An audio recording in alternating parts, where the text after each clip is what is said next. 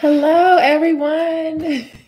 Happy Friday. If you can see me and hear me, put a one in the chat. If you can see me and hear me, put a one in the chat.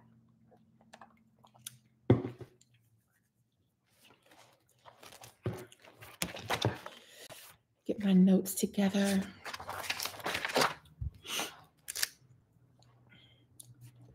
Let's see.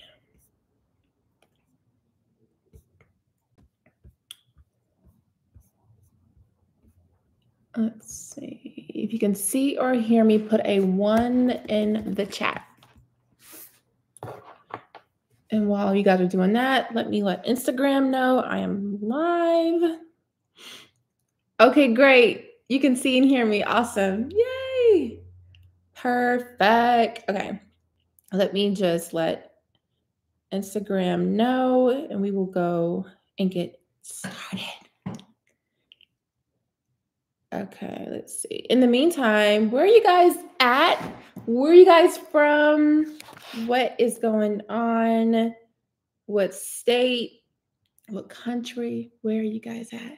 Tennessee. Lanai, you are so faithful, sis. Every time I come on live, I always see you. It's so good to see you. Tennessee, Texas, Cali is MO, Montana, Michigan, Michigan again.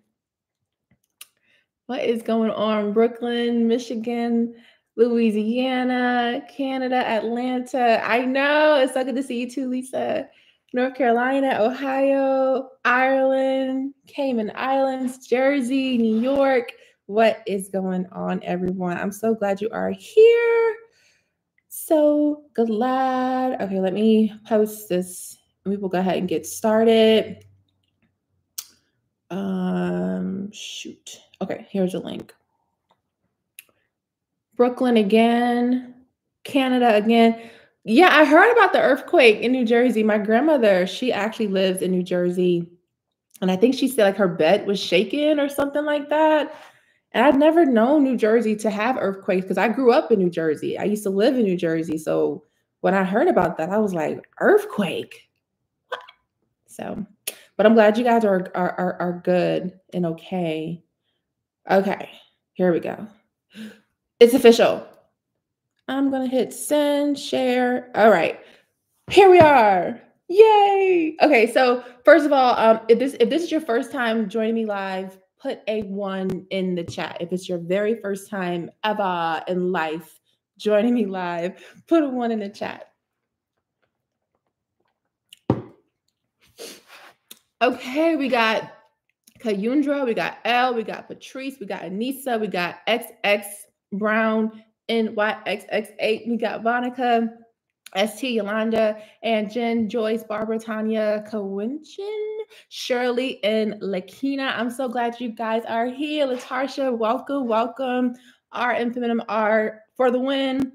Patricia, Udu, I'm so glad y'all are here. Welcome, welcome, welcome. Once again, um, when I do these lives, it's really for you. I have no agenda. We talk scalp care, hair care. Sometimes we get into some skincare as well. But like I said, we have no agenda. This is for you.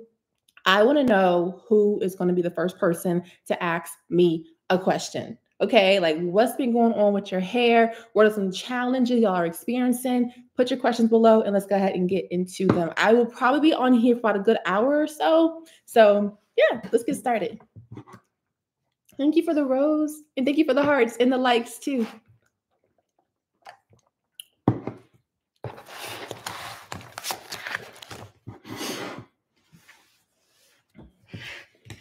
Dry? Oh, dry. Yeah, that's a that's a big one. Um, and I think that kind of co- goes along with the second question: how to moisturize hair in many twists. So when it comes to our hair, I mean, because of how our hair texture is chemically, biologically, you know, our hair is prone to dryness. So when it comes to dry hair, I think the big thing is that we have to make sure that we are having consistent wash days.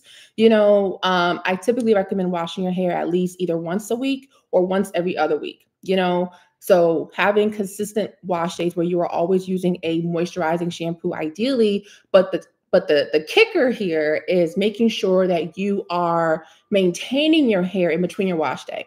And I think that's where a lot of us get into trouble because we wash our hair and we kind of neglect it until the next time we get it washed again. Or we moisturize it, but, but we're not doing it as often. So, in most cases, um, using a good moisturizer, a good moisturizing shampoo, deep conditioner, investing in a steamer is going to be a game changer. And believe it or not, those few little things can change your hair almost like that. So moisture, moisture, moisture is key, especially if you're experiencing dry hair. Great question, by the way. Um, what do you do with your hair when you are not feeling well? Yeah, so if you're not feeling well, um, it can be tough, you know, when you still have to take care of your body, you know, like you got to shower, you got to brush your teeth, your hair is also in that category as well. So it will sometimes take a little bit of oomph to get it done, but it's one of those things of making sure that you have at least some energy to take care of your hair. Um, if you can do the minimum, which is making sure that it's moisturized, that would be ideal. As far as styles go, you can keep it in a bun, like very, very low maintenance. I remember when I had COVID last year, it was tough like it was so so tough. I don't think I even got. I don't think I got out the bed for like good two days. I mean, I, I, I got out the bed, but I wasn't very active. But I try to do as like as minimum as I can for my hair. I tried my best not to neglect it. So it will take a little bit of extra oomph just to do it. It's, it's going to be a push, but it's going to be worth it. Um, but once the, once again, treat it like how you would every part of your body. Like you're not going to you're going to try not to go longer than a day, like without brushing your teeth. So treat that as you would your hair as well. Um, Narisa says, why is the crown so different? So a lot of times we will have different hair textures throughout our whole entire head. Like the back of my head, like back here, I have like a very, like a really loose texture where up here it's really a more tighter so it's more thicker and it can be a little bit more drier too. So it could be that you just have a different texture around the crown of your head. Um because of that i would say make sure that you are giving that section a lot of extra tlc i should say. So once again, making sure that you are keeping that area moisturized, keep like even adding a little bit of moisturizer, like a little bit of extra moisturizer to the crown of your hair, that will help to reduce that dryness. But like I said, a lot of times it's because of our scalp just producing different um, curl patterns and different textures throughout our scalp. And that's completely natural. It's rare to find someone with textured hair that just has one hair type, like 4A, all throughout their hair. Typically, it's going to be different differences going on here. Okay. So that's pretty much what's going on. But I would just say make sure that area is as moisturized as possible. So hopefully that helps. That's a really good question, too. Um, let's see. Celeste says, is Nutrafol a good hair? I don't know why this peach just wants to do its own thing. Okay, whatever. Is is Nutrafol a good hair vitamin? Thank you. Yes. So Nutrafol is really good. They have a lot of data, a lot, a lot of data on their vitamins. They actually did their work. Like they did a lot of testing prior to launching that vitamin. Um, and I've seen people have really good results on it. That's typically one of the hair vitamins that I recommend. So if you want to give it a shot, you can. Um, yeah, you can. There are other alternatives out here. Like typically, I recommend um, Shadavi hair vitamins, which I believe are currently out of stock. Like her vitamins have been out of stock for a while. Um, another alternative you want to look into is called Pure Encapsulations Hair, Skin, Nail Vitamins. It's in my Amazon store. The link is below in the description box. But those vitamins are awesome. So I would I would check those out too. But Nutrafol is good too. Um, Beautiful Empress says, is moisturizer spray good to use when the hair is in braids? Absolutely. And that's typically what I recommend. So because your hair is because your hair is in braids, your hair still needs to be hydrated, right? It still needs that moisturization. And a cream is just not going to do it. A butter is not going to do it because you're going to have some crazy buildup and it's not going to look cute. Okay. So going for a liquid moisturizer like um, water, aloe vera juice, a liquid leave-in conditioner, for example, will do the job. Um, and just mist your hair, you know, as needed. You can do that every day or once every other day. But a liquid moisturizer would be ideal if you have your hair in braids or even in twists as well.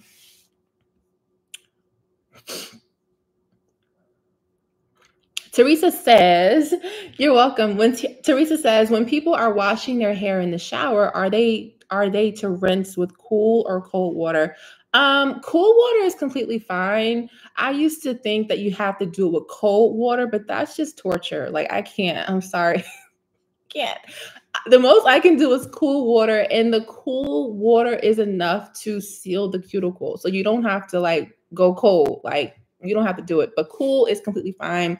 And just also keep in mind too, like when you are moist or when you are washing your hair, that you don't wash it with like really hot, hot water. Um, that's going to dry your scalp out like crazy. That's going to even irritate your scalp. And it can also lift the cuticles of your hair, leading to dry hair. So you want to avoid that completely. But cool water is completely fine. Um, Rosie Del Rey, I like your name. It says, she says, any advice for single stranded knots? I've had them for years now. And eh, anytime I trim them, more come and I want to get rid of them permanently.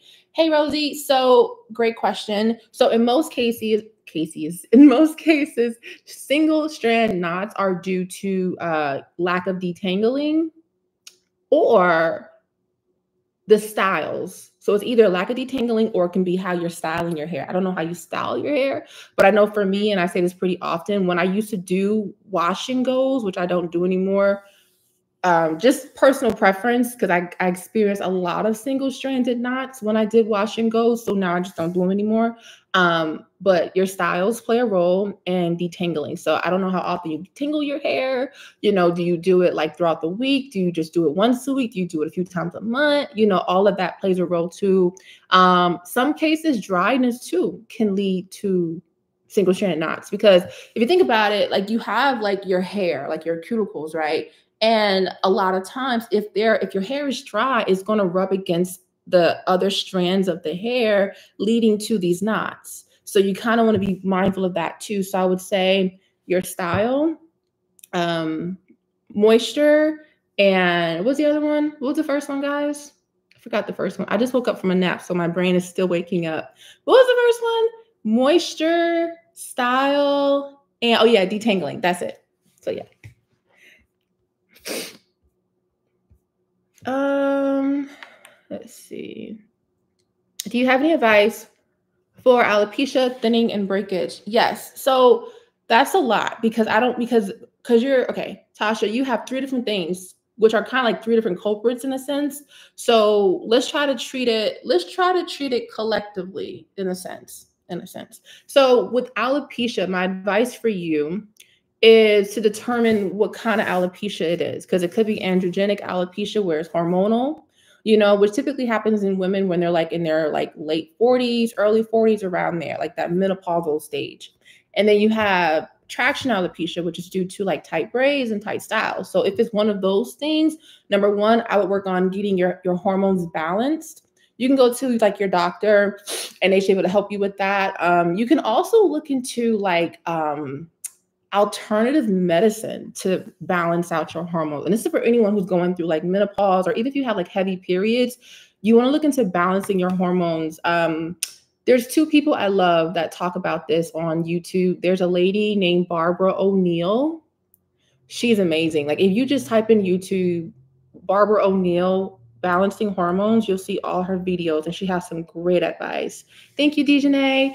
Um, Dr. Berg is another person on YouTube. He talks about like natural ways to balance your hormones. So that can help tremendously if it is androgenic alopecia. Okay. That's number one. Number two, um, thank you, Teresa, for the super chat. Um, that's number one. Number two would be if it's traction alopecia, then it could be once again just just reducing any tight styles that you've been doing because by reducing tight styles, that's going to reverse it like that. So I do recommend that. The other thing I would say is for the thinning is um, green tea rinses, hands down. Those are my go-to. Like you will always hear me talk about green tea rinses as a thing to do for thinning hair because if your hair is excessively shedding, green tea will put a stop to that almost instantly. That's number three. And then for breakage, it's typically tied to a lack of moisture, like a lot of dryness going on in the hair. So I would look at those three different, those four different avenues to kind of tackle the alopecia, the thinning, and the breakage. Hopefully that helps. Okay, let's see. Um, live, work, clean, wash and goes is a big culprit for knots. Absolutely. Absolutely. And kudos to the girls who can do wash and goes, but I couldn't do it. I mean, I, I did it for a few, I did it like my first two years when I was natural, but after that, I said, uh, I can't do it no more. Thank you, Teresa, again. Um, how often should you do clay treatments and do they straighten your hair? Uh, in most clays, most cases, clay treatments don't straighten your hair unless you put something in there, you know, that's designed to like break those bonds and like straighten the hair. Um, but in most cases, no. As far as how often, it depends on what you're what you're trying to do. So if you're using like bentonite clay, for example, right, or Rhassoul clay, you can do that like once a month. Like that's completely fine. I don't do them once a month. I may do a clay mask maybe like once every two months. Um, but once again, it depends on what your hair needs. But as far as I know, clay masks do not straighten your hair. Um, is using a straightening brush bad for your hair? No, it's not. But it depends on the frequency. Like, how often are you using it? Are you using it every day? Are you not using a heat protectant? Then it becomes bad, you know. But if you're not, if you're using it like, I don't know, like once once a week or once every two weeks, or you know, you're using a heat protectant, then you are protecting your hair, you know, and more than likely your hair won't become damaged from it unless your hair was like super duper weak, you know. But outside of that, to answer your question, using a straightening hairbrush is not bad for your hair. I blow dry my hair like once every two weeks, once a week sometimes, and I haven't lost any curl pattern. I think it just goes down to your technique. It goes down to how like your what you're using. Like and anytime I use heat on my hair, I don't care if it's a blow dryer, a flat iron, a hooded dryer. Well, not, not a hood dryer because that's indirect heat, but like blow dryer, flat iron, I'm always using heat protectant. So that's that's why I would highly recommend just to kind of protect your hair and give it like an extra shield so it doesn't experience heat damage. Great question. Um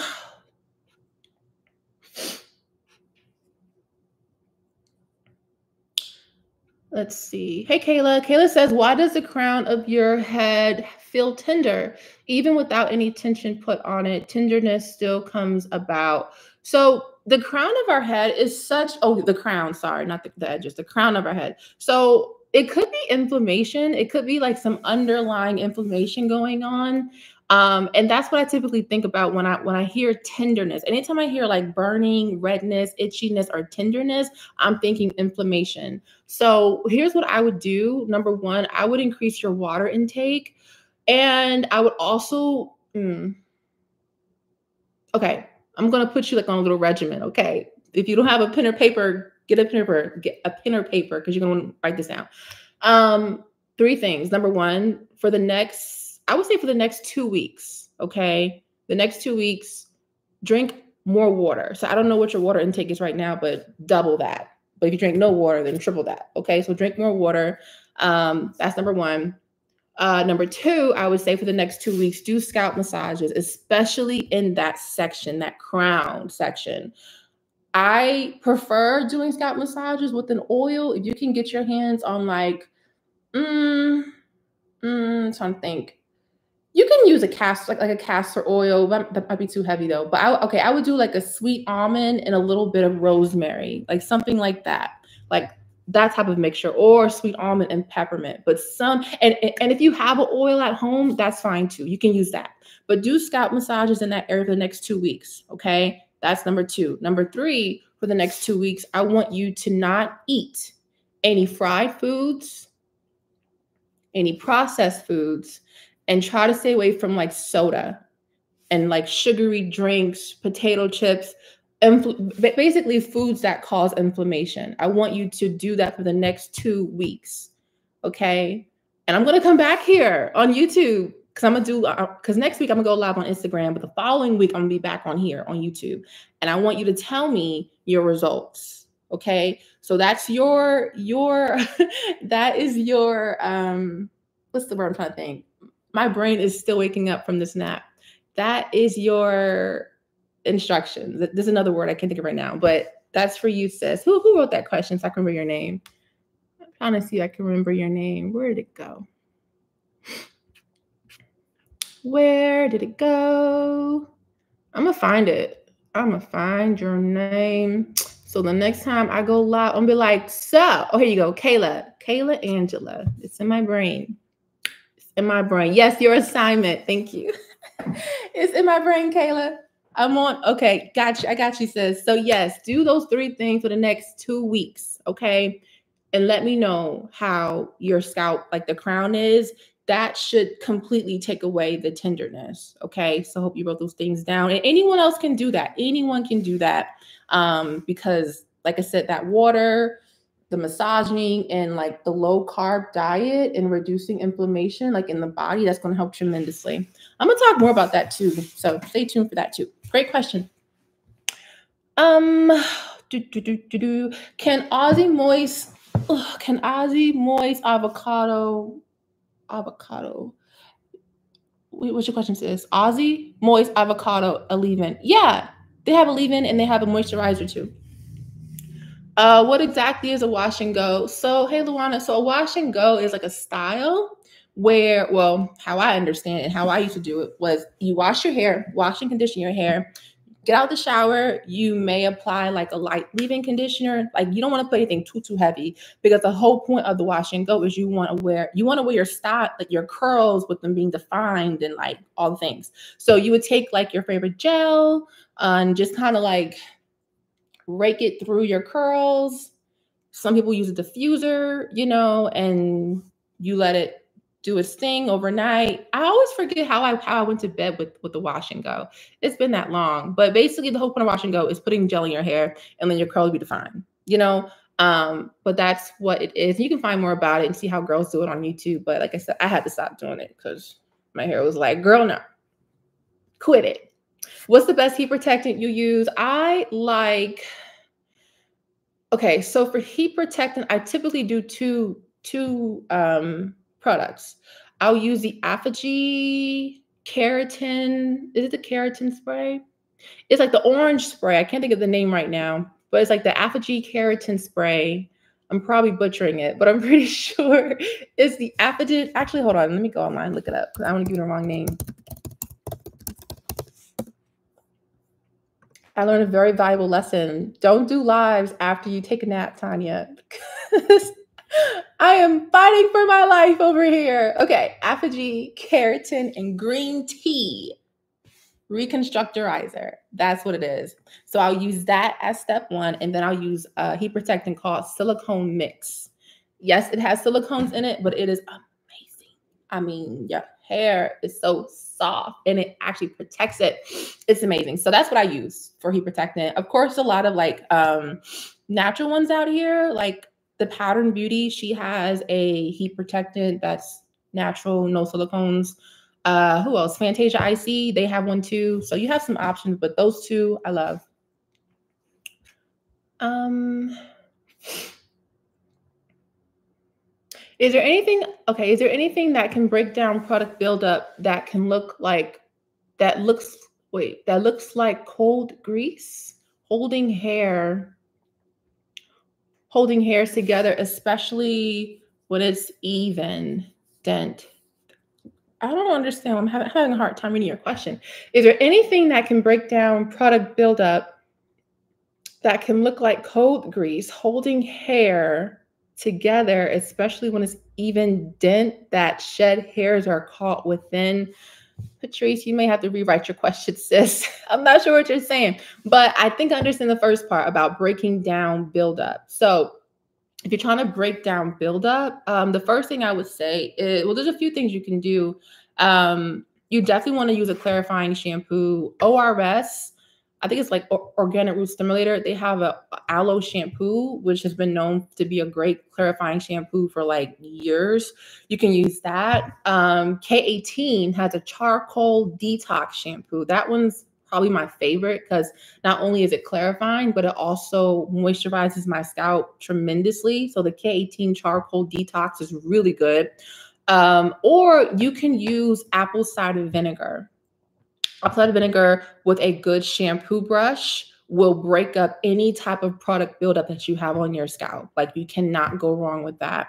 So I would check those out. I have a few. Um, I think they're also in my um my Amazon store. Definitely that shampoo brush. And a lot of y'all have been getting that shampoo brush in my Amazon storefront, and it's it's so good. I just turned my mom onto it last week, and she was like, "This thing is so good." I'm like, "Yes, it is," because it just it just takes off all the gunk and it just leaves your scalp feeling so good. So, yes, hopefully that helps. Um, hi, Tanya. I noticed that when I comb or wash my hair, I see tiny strands or tiny coils fall out. Are these considered shed hair or breakage? Great question. So, in most cases, the tiny, like the short piece of hair, is going to be breakage for sure. Um, I'm not, I don't know how long your hair is, but the shedded hair will be the length of your hair. So if I was to comb my hair right now, right, and you see like the little bulb at the end, typically, or in most cases, all the time, that length of hair is going to be the same length of my hair because it's shedded hair. Anything shorter than that, like choo, choo, choo, choo, choo, choo, that is breakage for sure. So yes, it's definitely breakage. Um, if and if it is breakage, which I'm pretty sure it is, you may need to ask yourself when's the last time. Well, two things. When's the last time you did a really good deep conditioner? How often are you moisturizing your hair throughout the week? And then also, when's the last time you did a protein treatment? I think sometimes we neglect getting protein treatments. I think we become afraid of protein treatments. Like, I don't get protein overload, but I'm like, your hair is a protein. You know, your hair is keratin. And sometimes, a lot of times, we need to replenish that protein back into our hair. So even if you just do a light protein treatment, it's not going to give you protein overload. You can use ApHogee two minute conditioner once a month, and that's going to be amazing for your hair, you know? Um, so I would try that out. All right, let's see. Um, I had a few questions up above, so let me go up a little bit. Kim says, how to avoid very bad split ends and holes in my hair strands other than to do a big chop and keep a short hair. So, hey Kim, so I highly recommend getting a trim, um, especially if you're if you're constantly having split ends. My question to you would be how like how like how often do you get trims? You know, um, I know the rule of thumb is like every what six to eight weeks. You can stick with that. Um, I try to just I do search and destroy at least once a week. Excuse me.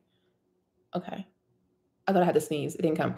At least once a week or once every two weeks. And search and, search and destroy is when you take like a really good pair of shears and you just kind of go through your hair and look at your ends. If you see like any split ends, you just cut them off yourself. So I would definitely get a trim. If you don't trust yourself, then you know, get a professional to do it. The other thing I would say that causes split ends is going to be dry hair. For sure, hands down, because your hair is breaking off. And with the hair that's that's just that's just broken off, is kind of left in a weak state, meaning it, it, it loses layers of protein, that cuticle that surrounds the cortex of the hair, leading to split ends. So it could be a lack of moisture. It can also be how you're combing your hair and how you're brushing your hair. You know, um, sometimes using old brushes that we that we've had for like years can also lead to split ends and breakage in our hair. You know, um, so it could be a number of things. I think personally, I think it could be a lack of moisture, and then, like I said, just getting not getting trims. So I would just look at those culprits and see if that helps. Um, but definitely get a get a trim as soon as possible. And like I said, if you don't trust anyone to touch your hair, because I get it, because I've had a bad experience as well. Not saying that you have, but I have. Um, you can look online on how to do search and destroy technique, search and destroy methods, learn how to do it yourself. Okay.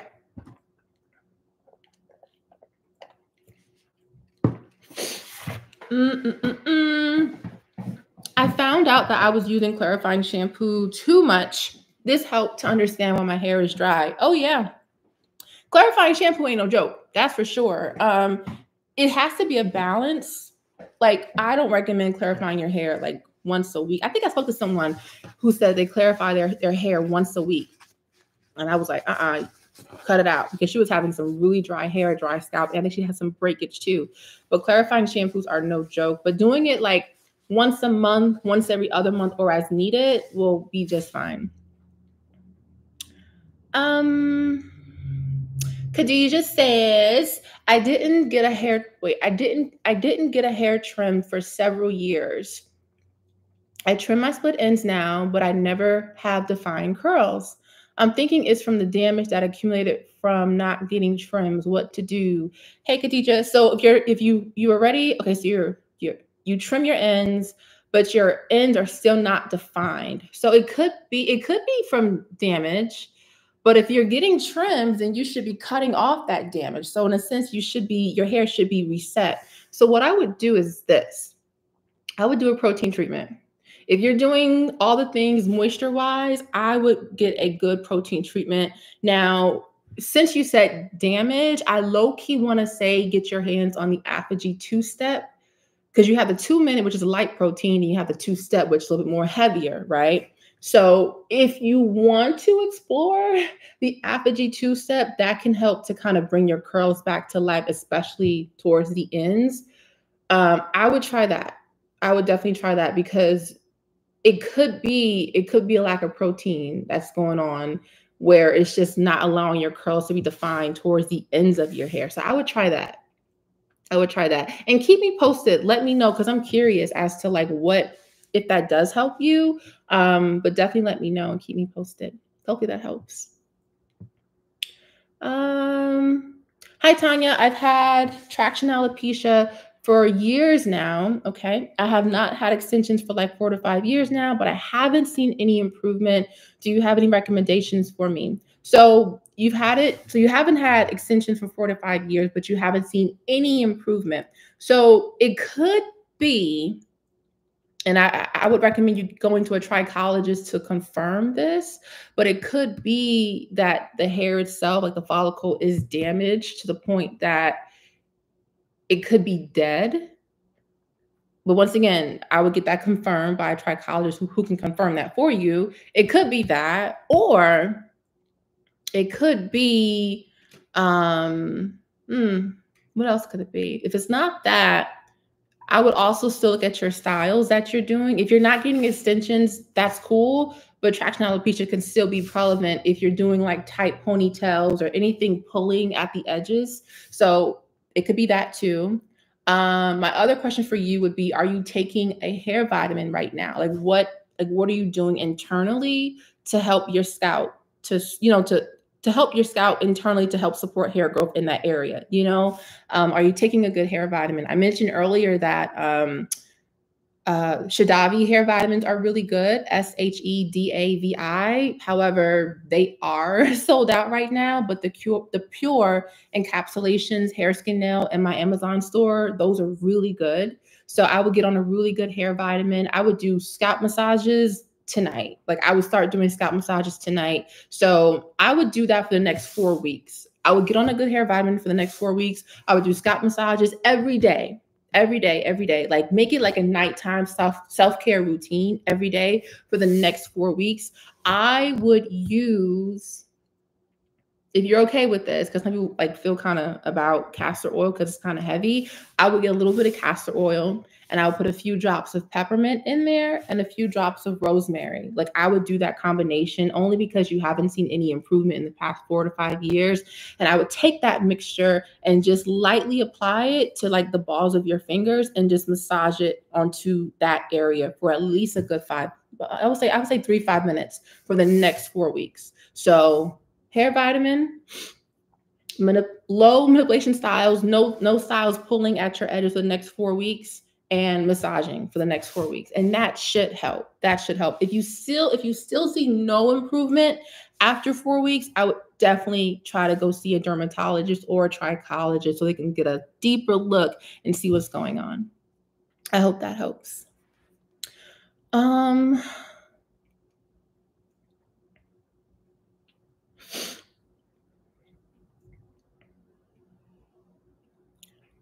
let's see. Hold on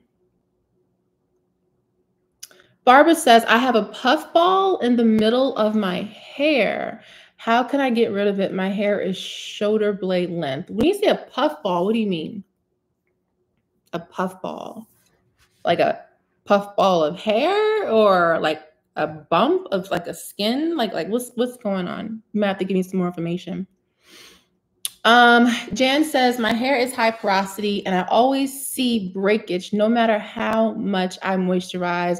Is it okay to use Olaplex three top three three every wait oh oh Olaplex three every other week? Um, yes. I know some people who use Olaplex um once a week actually. So you using that once every other week that's that's completely fine. And jan if you are still seeing breakage even after moisturizing your hair then it could be the protein that you're missing. So i would try that for sure. And like the olaplex 3 that's a great formula. And doing that once every other week that's gentle enough for your hair. So i would try that definitely and keep me posted.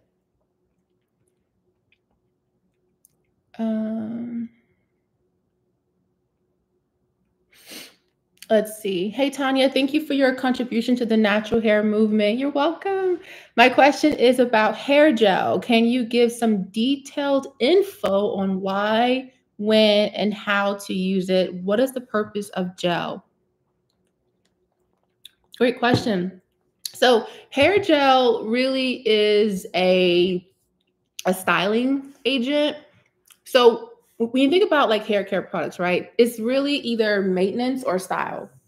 Shampoo, conditioner, leave-in, moisturizer, all of that is going to be your maintenance. Gel, edge control, styling creams, um, what else? Hair mousse, all of that is styling. So, so when you think about your hair gel, think of it as a styling aid in a sense. Now, as far as why you use it because maybe you want your curls to be more defined. Maybe you want your edges to be laid. That's why. Um, when, when, when you want to style your hair, like if I wanted to do a sleek bun, you know, like, you know what? I'm tired of my hair being out. I want to do a sleek bun. I'm gonna do a sleek bun and I'm gonna get some good hair gel to sleek my hair down. So that's the when, whenever you want a sleek style.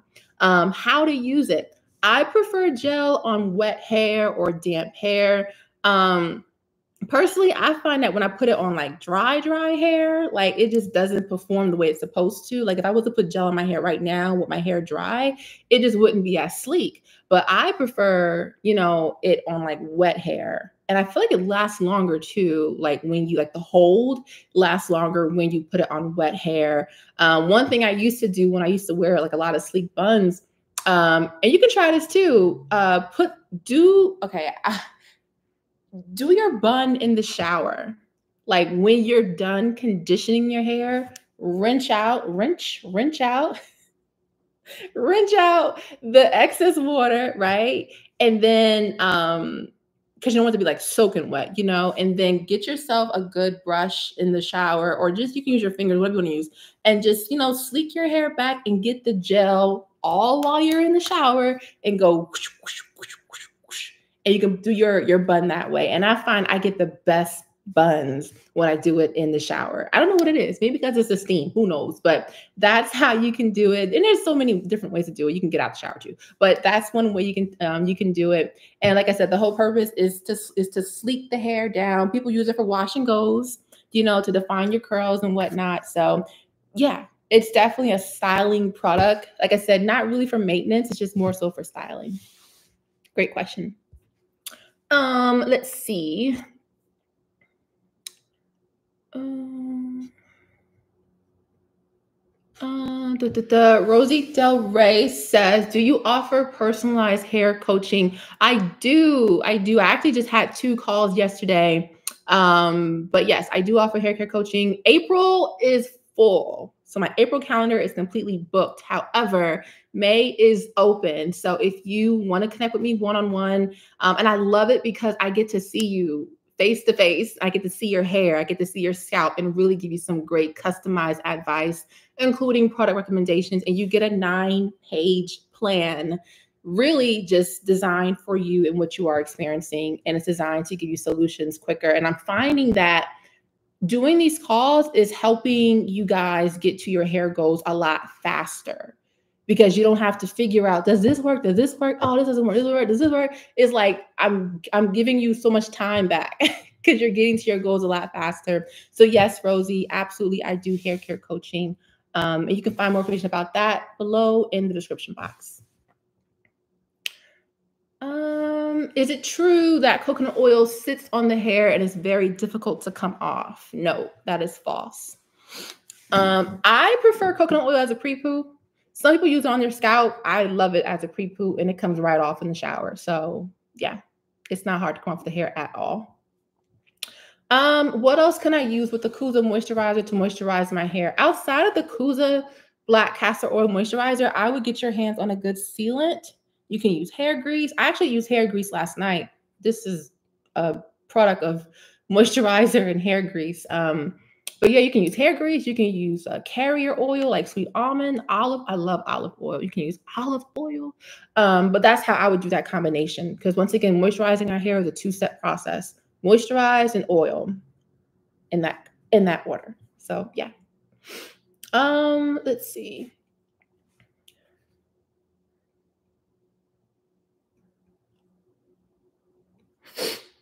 Is it possible after correcting illness, can you get thick hair back? Oh, absolutely. Absolutely. And I love this question. Um, so after correcting an illness, uh, you can absolutely get your hair back, in my opinion. And the reason why I say that is because I believe that the body, I believe that I believe that when God made our bodies, he made it in such a way where it's designed to heal itself. That's just my opinion. I truly believe that, you know? So Yes, absolutely. Now, of course, there's going to be some changes on our parts for sure. You know, our diet, exercising, you know, um, what we do, what we consume, that plays a role too. But absolutely, you can get thicker hair and grow your hair back even after illness for sure. Great question.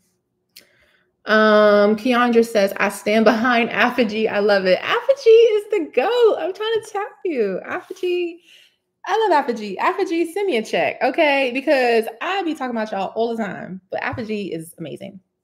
Amazing, amazing, amazing. All right, let's see. Um,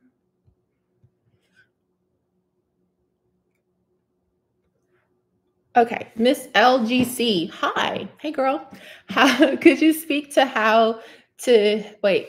Could you speak to how to help with shedding that's leading to bald spots? Yes. So, um, if your hair, if so, if you're experiencing excessive shedding, because you guys know our hair is going to shed regardless.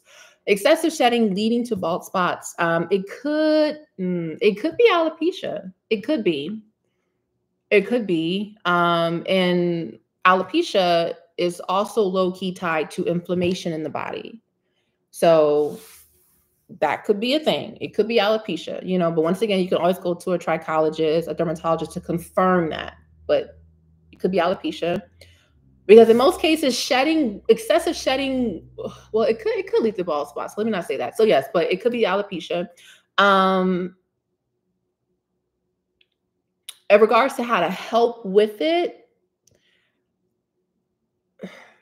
if it is alopecia, and I'm just kind of I'm going down this rabbit hole, so bear with me, sis. Okay, if it is alopecia, then you really want to get to the root of it. And like I said, I believe the root of alopecia is inflammation in the body.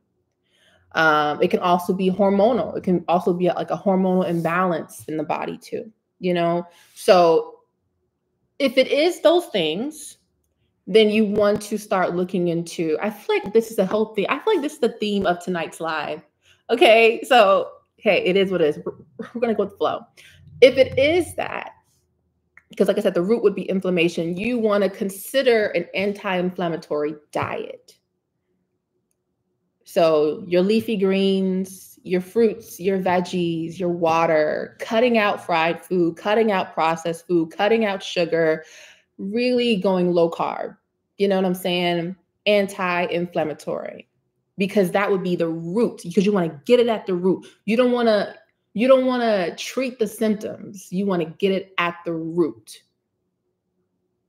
Okay, so that's that's if it is alopecia. It may not be.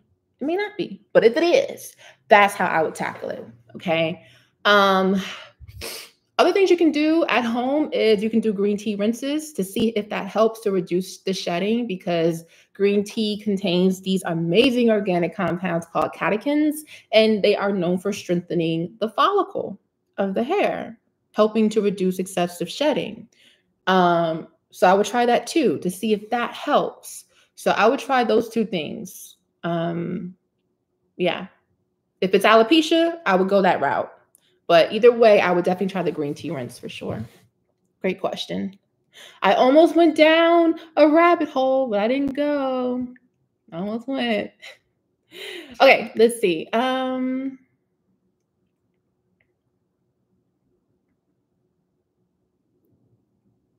uh, let's see. Would would getting locks on thin hair help growth at the scalp? Massive. Okay, let me read this again. Would getting locks on thin hair help growth at the scalp? Mm. To be honest with you, I'm not a huge fan of locks on thin hair. I'm just not. I'm just not. And the reason why I'm not, now of course you you're gonna do whatever you want to do, but at the end of the day, it pulls. You have gravity, right? That that's gonna eventually pull at your, you know, and you have all that shedded hair because to my understanding of locks is that the length is really coming from the fact that that that that that shedded hair is just being locked into the locked like it's just shedded hair. So it gets weighty and it can pull at your scalp. And i've seen so many women with locks they look beautiful but they but their but their hair is thinning like crazy because of the locks or they have no edges because of the locks or they're thinning so much, especially at their crown. So to answer your question, says I don't recommend getting locked, and you already have thin hair. You already have thin hair, so I wouldn't. I wouldn't recommend getting locks. I wouldn't because I don't think it's going to help with the growth at the scalp. Honestly, now once again, you can do it and try and see what happens. Because at the end of the day, you know you're you're you have to do what you have to do what works for you and what you want to do um, but I'm not a big fan of locks on thin hair. I think it can lead to um, hair loss, in my opinion. So, but hopefully that helps. Um,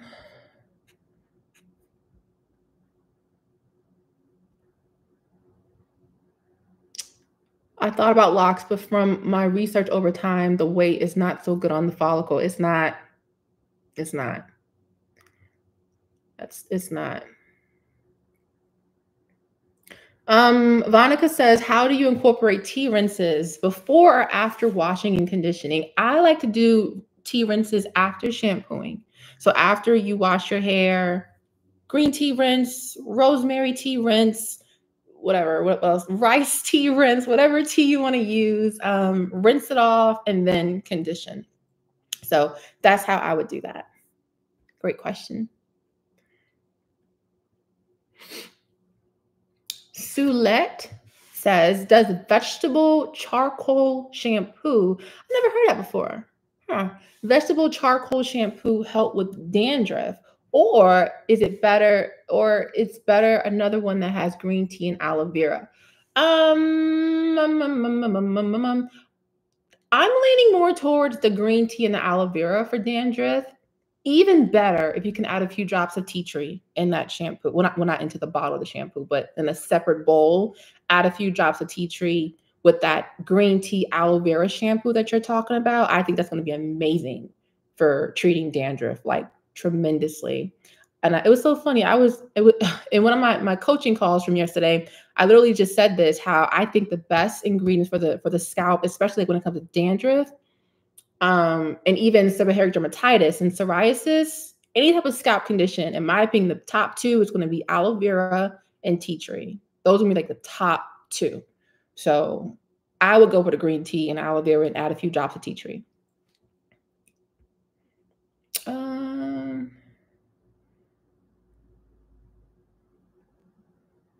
oh, that's a good question. Yaz Little Flock says, Why does hair appear to get thicker during pregnancy?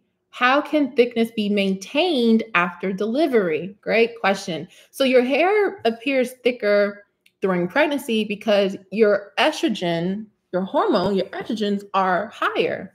So because your estrogen is higher, you know, you got the hormones fluctuating and your estrogen is higher when you're pregnant, your hair is thriving. It's thicker, it's longer, it's shinier, you know, all the things because that estrogen is up. But then you got postpartum shedding, right? And that's pretty much when the estrogen is starting to get back down to its normal level. And with it decreasing comes the shedding of all that beautiful hair, you know? So, how to maintain it? How would I maintain it? Oh gosh. So, what I would do is, and I have to look into this, but I would definitely do green tea rinses. I'm not sure if pregnant women can do green tea rinses. I'm, I'm, pretty sure you. Well, I don't know. I would check with your with your with your doctor just to make sure. But if you can do it, I would take. I would start doing green tea rinses at least once a week.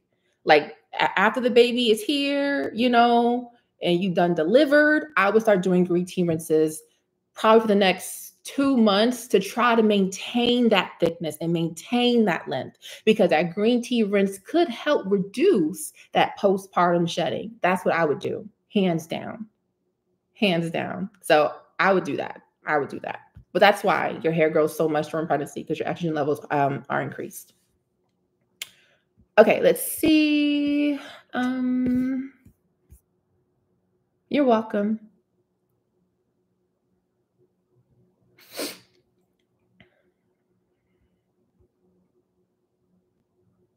Mm.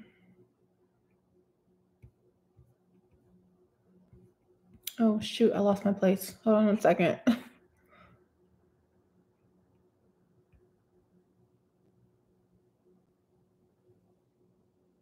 Okay, so Dejana says, Hi Tanya, my hair is always dry, even after deep conditioning with no heat okay and using a leave-in i don't know what to do any suggestions so if you're so if you're okay so if you're deep conditioning and you're leave-in and your hair is so dry, it could be the products that you're using. It could be that your hair which is just not compatible with those products. Or it could be your hair is not getting enough moisture. So you mentioned that you deep condition, but you don't use heat. Adding a little bit of heat will help for that product to penetrate deeper into the cuticle so your hair can be more moisturized and more hydrated and conditioned with that deep conditioner. So you adding heat may help. Um, also, what do you do in between your wash days? You know, like are you moisturizing your hair, you know, four times a week? Because that's what I do. I wash my okay. Are you moisturizing your hair three to four times a week? Like what's going on in between your wash day? Are you drinking water? Because when you drink more water, that also helps to moisturize your hair internally. So I would try those things. I would get your hand, if, if, even better, if you can get your hands on like a steamer like a good hair steamer for when you deep condition your hair, that's going to help to take your wash day to the next level. Um, I do have a few I recommend in my Amazon store to check out. the link is in my bio, but I would definitely do that. Increase your moisture sessions in between your wash days and increase your water intake. And that should help.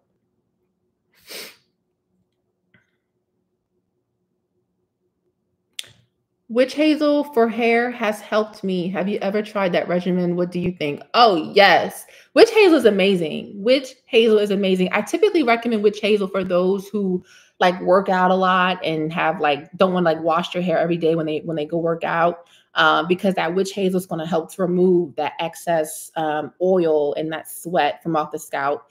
Um, witch hazel is great for a dry scalp like if you have a dry scalp, using witch hazel will help to hydrate that scalp.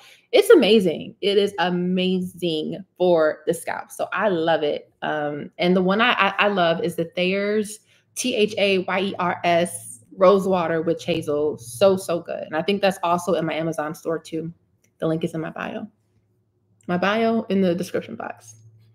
Um, how often can you use ACV in your conditioner? Once a week. That's completely fine. I would just use a little bit because you don't need like a, a, ton of it, but you can just add a little bit to your conditioner. Um, that's like a nice little tip, a little secret.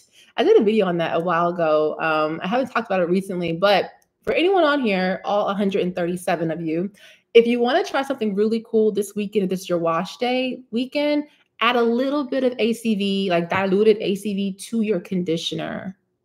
Like to your conditioner and put it on your hair, and your curls are going to be so so defined. The softness, the, the tingling, it's going to be amazing. Like just just just just telling you now, okay? But that's like a little hack that I think you guys should should try. So check that out.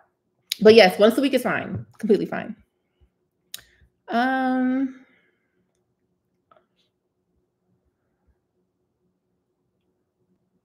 Um, what are your thoughts on DMDM hydantoin? Um, I have a whole video on it. I think DMDM hydantoin is completely fine. Um, it's been used in the cosmetic industry forever, and I think it's a great ingredient. But you want to learn more about it, you can check out my video. Um, if you type in curly chemistry DMDM hydantoin, you'll see all all the things. You'll see that video. Is it good to use hairspray instead of gel for a ponytail ponytail style? I prefer. Eh, I'm assuming you mean like like the like the hairspray that makes the hair kind of hard. Um, if that's what you're referring to, I don't recommend that. I I would say use some gel. Use some good good hydrating gel. I love the um, Aunt Jackie's curl elongating gel. So good. No flaking. No none of that. It's so so good. Mm. Let's see. My daughter has low porosity, super thick 4C hair. Okay. What what detangling shampoo conditioner do you recommend? Um, a good detangling shampoo. I I, I love the As I Am Long and Luxe shampoo. I would say try that one, Donna. And then also for conditioner, I would say use the mm, use the, the Shea Moisture Manuka Honey mask. It's a it's a conditioner, but it's also like a deep conditioner. It's more so a hair mask, but it's you you can use it as a conditioner. Um, that combination would be really nice. But I would I would check that out.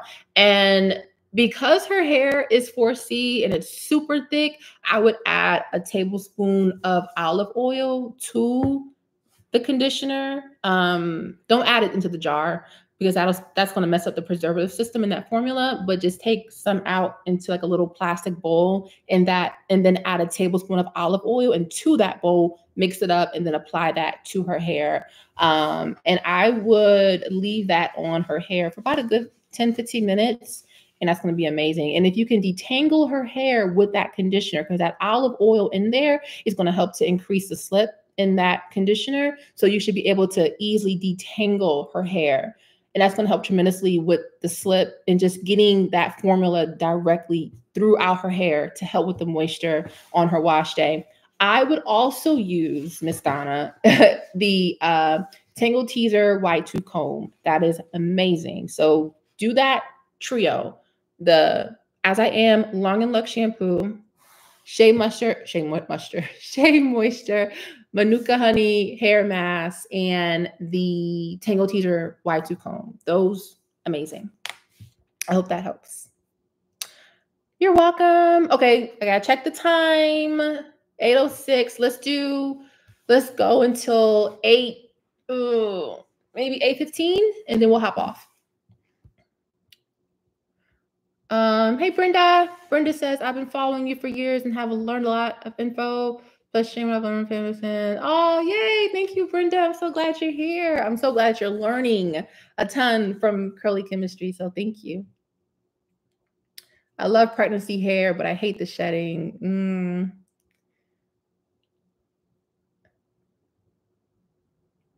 Um, let's see. Mother Jazz says, I believe I have CCCA waiting on dermatologist appointment. What can I do in the meantime? Um, in the meantime, I would just nurture your hair. I would do some scalp massages. I would even do some good green tea rinses to strengthen the follicles of your hair. Uh, if you can also cut down on the sugars and the fried foods and any type of processed food that you're that you may be consuming in your diet, I would cut down on that, especially the soda and sugar and juice, just in case you do, because you may not. I don't know, but I'm just saying if that is a part of your diet, I would just just not do that. Um, because once again, alopecia, the, the root of alopecia is inflammation, you know. So yeah, that's what I would do in the meantime before your dermatologist appointment. Um, you're welcome. I hot oil my hair with the ACV rinse work well with the hot oil. Um, yes. So it depends on when you do the hot oil treatment. So there's some people who do hot oil treatments before they shampoo, and then there's some who do it like directly after they um condition their hair, like as a final treatment. So if you're doing the ACV, let's say after you shampoo your hair, or if you're doing the ACV with your conditioner, you're gonna rinse that off, right? It's completely rinsed off, and then you're gonna do your hot oil treatment. So it's not gonna interfere in any way. You're welcome. Um, okay, let's see.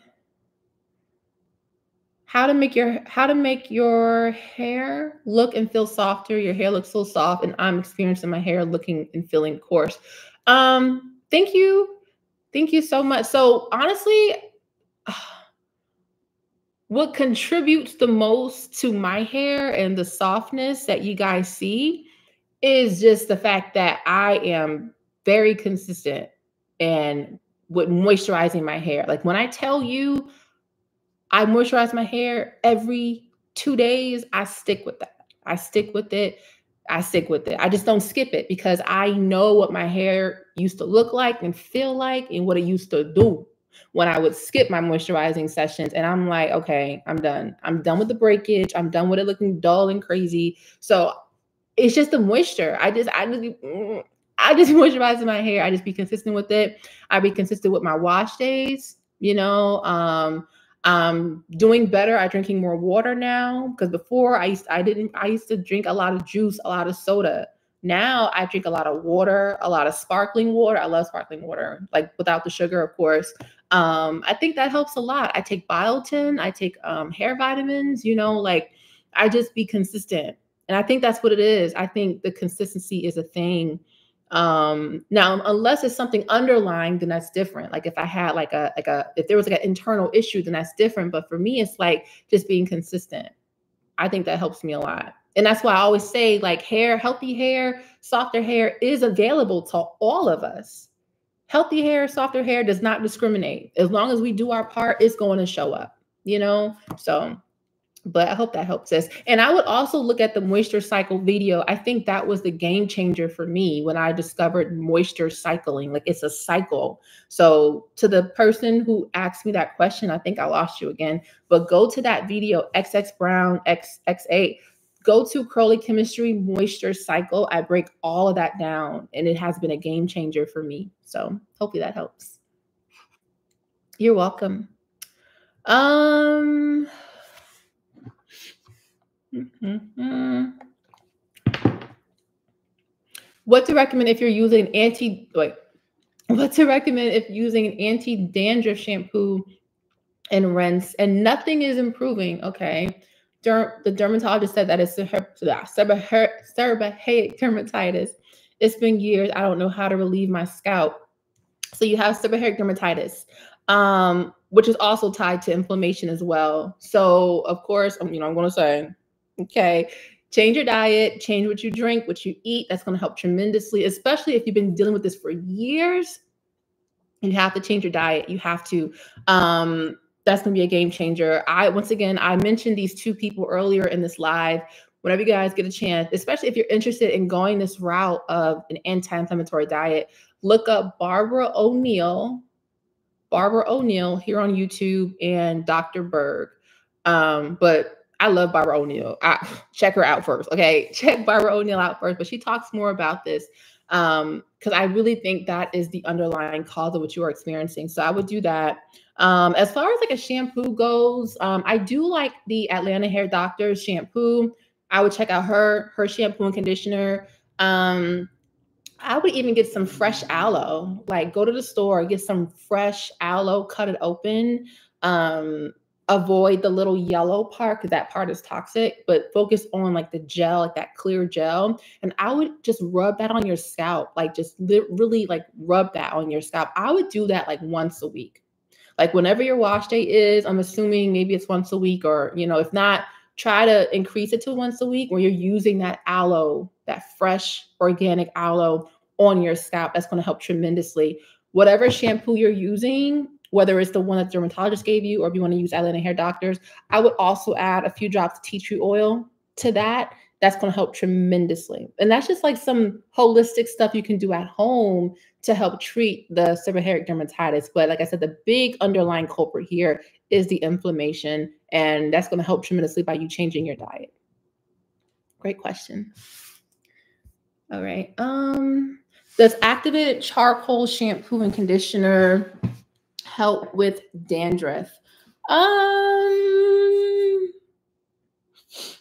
I'm trying to think.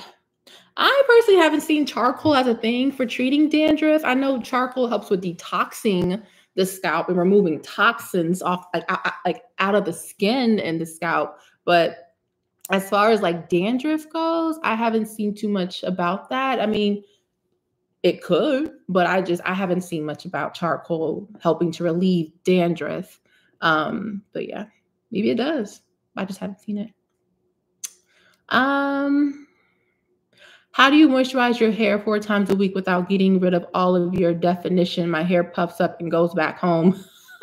I love that. So when I moisturize my hair, I'm also styling it at the same time.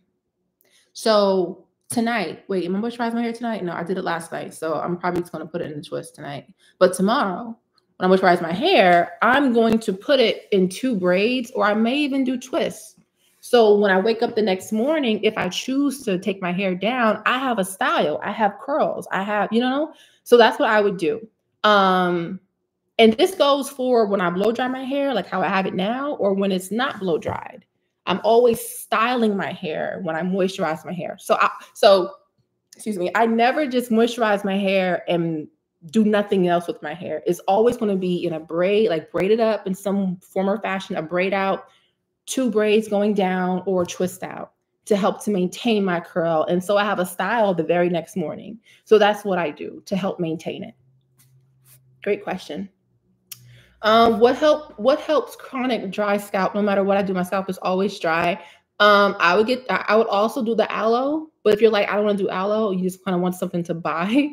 I would use the um, what is it called? The Pacifica Rosemary Mint Scalp Serum. Super hydrating, or you can use Pattern Beauty Scalp Serum. Those two formulas are amazing for dry scalp. Uh, the Pattern Beauty one, I think it has peppermint in it, so it does have like some stimulating properties. But the Pacifica has rosemary in it, which is also good for hair growth. So those two, you can't go wrong. I I want to say the Pacifica Rosemary Mint is in my Amazon store, so you can find it there too. Great question. And you can put that on your scalp every day as needed. Whenever your scalp was kind of itchy or flaky or dry, you can just put it on and just massage it and you don't have to rinse it off at all. What's a good liquid liquid leave-in conditioner? Um, I love ApHogee Pro Vitamin Leave-In Conditioner. That one's a really, really good one. Um, I think Cream of Cream of Nature has one too on their um, I think it's their argan oil line. That's really actually, yeah, I forgot about that one. That one's oh, that one's good. I'm gonna to go pick that one up. But it's like a milky texture. It's like Cream of Nature argan oil. I think it's their argan oil line. It's like in that red and yellow bottle but it's like a milky texture and it's yellow, but it's so hydrating. So that was that's a good one too. So between that one and the ApHogee, you can't go wrong. You're welcome. ACV conditioner and olive oil is my go-to. I'm trying to tell them. I'm trying to tell them, Lanaya. I'm trying to tell them. Texture washes to the very next level. It's so good. Okay. Um. Barbara O'Neill and add tea tree to the shampoo. Rub aloe on weekly wash. They will do. Thank you. You're yes, you're welcome. Um, I also do ACV rinses if that helps or don't bother. Um, ACV. Wait, I'm trying to remember your original question, but yes, ACV is completely fine in your in your regimen because as long as you guys dilute the ACV, it's going to be gentle enough on your scalp. You know, just don't put it directly, you know, out the bottle onto your scalp. All right, what time is it? It's 8:17. Time goes by so fast. You're having fun. Okay. Um, how do you make your hair so different from time to time? How do you mean? How, how to make it different? You mean? Cause my my style is so like I have the most when I tell you I'm so lazy, like I become a lazy natural. I think I've earned it. I think I've earned being a lazy natural. But when I say lazy, I don't mean like I don't do nothing to my hair. Like I take care of my hair, but style wise, I'm just very low maintenance. So how I make my hair look so different from time to time, Gillian, what I do is I might wear a wig. I might wear a headband wig. I might wear um, two braids and unravel them like I did here. Um, I might put a bun in my hair. You know, I may do a braid out. That's it. I just keep it simple. But the past few few lives I have worn like my little headband wigs that I love to wear because they're low maintenance um, and they're great protective styles. But for the most part, I just keep it simple. I just keep it simple. And you just gotta find what works for you too. You know, I feel like in this natural hair care journey, you you just learn what your hair likes and what it needs. You know, you learn like, you know what, um, I don't want to do that. I want to do this. You know, because like I said, I used to, I used to do wash and goes a lot. My first two two three years when I first went natural, you know, and that was cool for that season but it's not for this season that I'm in. And I'm okay with that, you know? So you just got to find what works for you. And of course, with YouTube, you have so many videos to look for styles and just find one that suits you and that makes you feel good. Um, some good oils to buy. Uh, for protecting oils like sealants, I love olive oil. I love sweet almond oil. I love avocado oil. For pre-poo, I love babassu oil. I love coconut oil. Just to name a few. All right, I'm gonna go because I'm gonna keep going if I don't stop, and I have to. Um, I need to take it down because it's been a very long day. Um, please end this debate of heat versus no heat. Does heat damage your hair? Is this is is it really a debate going on? Am I out the loop? Do I be out the loop? Like, what are some debates going on? Side note, like, let's just switch gears real quick you know, since we're like winding down, we can like wind down together. Uh, what are some debates going on in the natural hair care industry? Because clearly, maybe I just be in my own curly chemistry bubble. I don't know, like what's been going on. But to answer your question, um, does heat damage your hair? Yeah, it can. It can, but so can water. you know, it's all about how you use it. You know, it's all about how you use it. I use heat on my hair. I'm gonna be honest. I'm gonna be honest, y'all. Okay. Now the real time about to come out because I'm getting sleepy. I'll be honest. I blow dry my hair like once a week, but I don't lose my curl pattern. I can wet my hair right now, and you will see my curls. Why? Because number one, the apparatus that I use, which is the RevAir, you know, is designed to blow dry your hair without causing heat damage. But I also always use a heat protectant, number one. And then number two, I do protein treatment. So my hair is strong.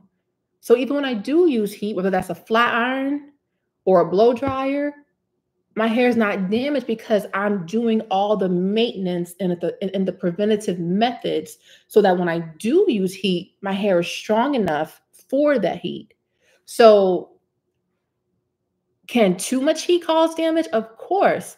Excuse me. Absolutely. I had heat damage back in 2015. I'll never forget it. You can go back on my video and, and see see the catastrophe.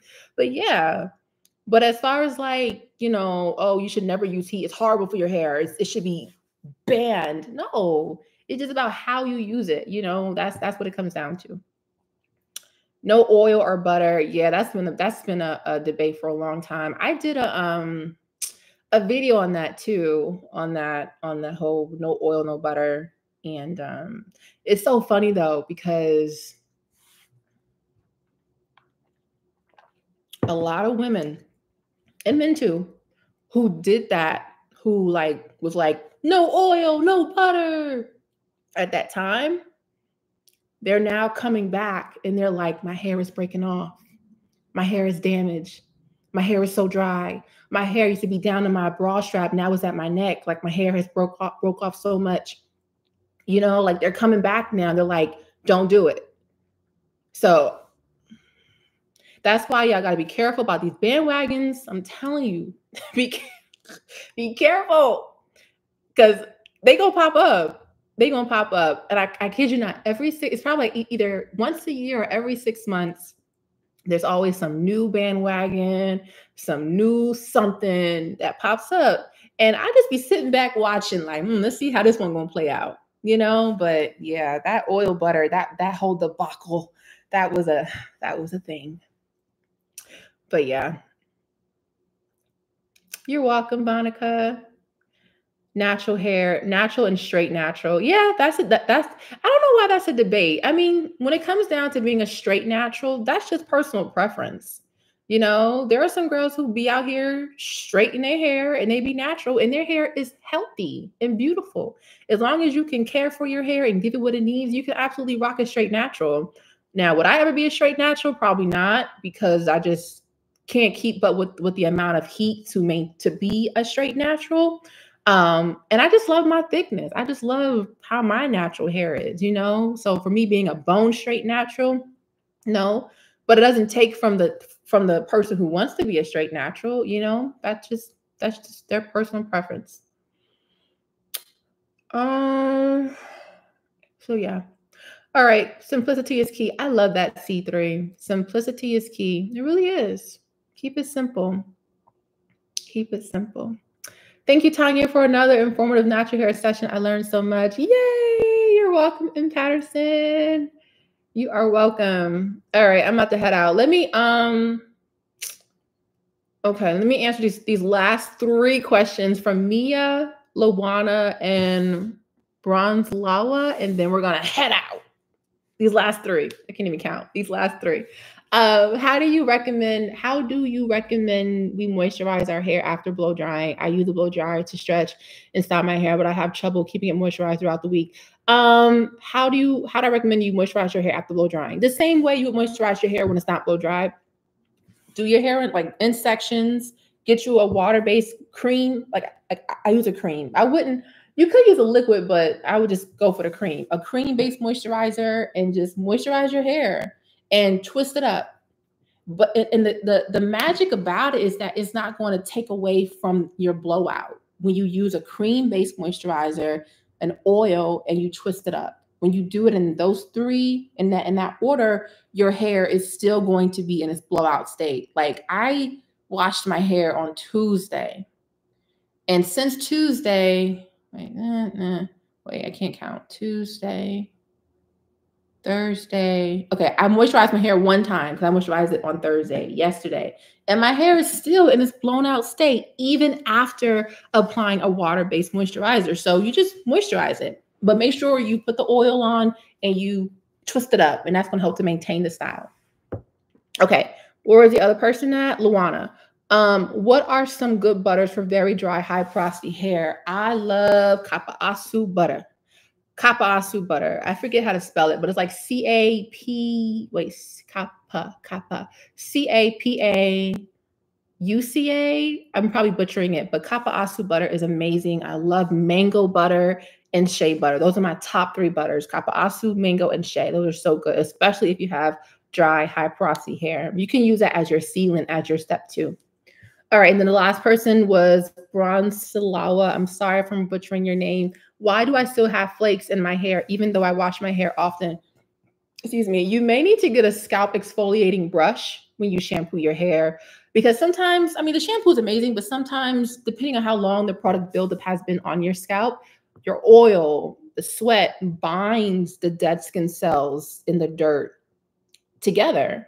And it makes it really difficult for it to break off and go down the drain. But when you use a exfoliating brush, like a shampoo brush, it helps to remove the bonds so that it can go down the drain. So I would highly recommend that. You can use the Pacifica exfoliating shampoo brush. It's my favorite. It's in my Amazon store. The link is below. I think it's like $9, but it's so good. It's so, so good. It's very gentle. The bristles are like a silicone bristle, so it's very soft. It's not hard at all, but I would highly recommend that. But that should help you. That should help to get get rid of those flakes. Um, that just keep coming back. Um, now, if it is dandruff, if it is if it is dandruff, then like I said before, um, tea tree oil is going to be amazing for that. Um, I would even do an ACV rinse for pH balance because a lot of time dandruff and flakes can come from the pH of the scalp being way off. You know, so I would definitely try that too. Okay.